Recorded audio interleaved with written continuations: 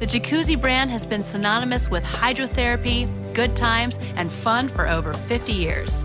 Back in 1968, third generation Jacuzzi family member Roy Jacuzzi created the world's first integrated whirlpool bath. His breakthrough was therapy jets built right into the side of the tubs that incorporated a soothing 50 50 mix of air and water. Just like that, a whole new industry was born, and boring bathrooms and backyards would never be the same again. Today, Jacuzzi is the most recognized name in jetted whirlpool baths and hot tubs on the planet.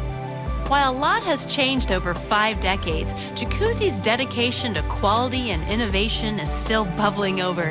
You can see it in how they incorporate the latest materials and technology into their hot tubs ergonomically designed seating and jetting arrangements, features like waterfalls, stereos, and lighting systems take the hot tub experience to a whole new level. The result is over 250 worldwide patents and counting.